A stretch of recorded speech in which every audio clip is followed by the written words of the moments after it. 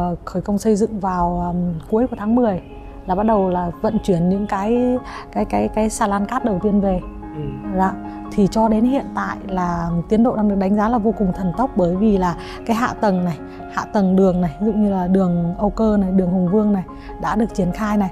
À, rồi là như đây đây đây như cái phân khu đầu tiên ra hàng là phân khu uh, The Garden 1 đấy anh. Ừ. Thì uh, các cái dãy nhà phố đã được lên tầng 3 luôn rồi rất là nhanh luôn và đang dự kiến là sẽ bàn giao vào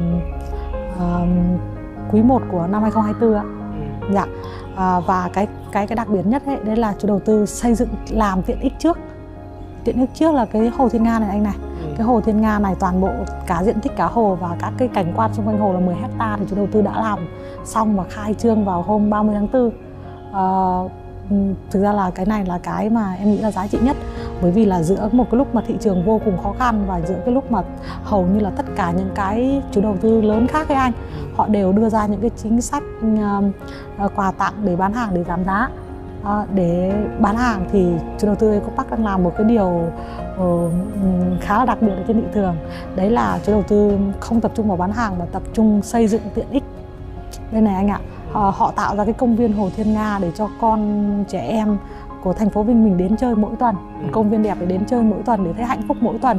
Và thứ hai là họ không hề giảm giá một tí nào. Cái việc đấy giúp cho tất cả những người mà mua uh, Eco Central Park đầu tiên họ không bị giảm giá trị của sản phẩm họ đã mua. Cái đấy việc đấy là vô cùng quý giá luôn đấy anh. Và em nghĩ là đối với công viên ờ, Hồ Thiên Nga này anh ạ công viên Hồ Thiên Nga này đã được làm trong 45 ngày này. Và chủ đầu tư cố gắng để tạo ra um, những cái điểm vui chơi cuối tuần á hàng tuần thứ bảy hôm nào cũng có show nhạc luôn ừ. uh, và bây giờ mọi người đang đang rất là khao khát đến Eco Central Park mỗi tuần luôn thật sự là như vậy uh, hiện tại thì chỉ có những cái cư dân uh, và những người có vé thì mới được vào chứ mọi tất cả mọi người thì đều chưa chưa được vào ấy anh ừ. nhưng mà rồi thì em nghĩ là um, cũng sẽ dần dần cũng sẽ mở cửa để cho mọi người được vào nhiều hơn để mọi người à, ngắm nhìn một cái uh, một cái đô, đô thị mới một cái niềm tự hào mới á. Mặc dù mình chưa phải là có thể sở hữu ngay được nhưng mà nó cũng là một cái niềm vui nó cũng là một cái ước mơ để cho mình nhìn thấy một cái cái, cái nơi mà mình khao khát để phấn đấu ấy anh. Ừ. à, còn tất cả những cái cư dân mà đã mua Eco Central Park thì uh, rất là yên tâm bởi vì là tiến độ xây dựng rất là nhanh chóng đảm bảo được cái tiến độ đã cam kết đấy anh và cái thứ hai đó là họ nhìn thấy cái niềm vui.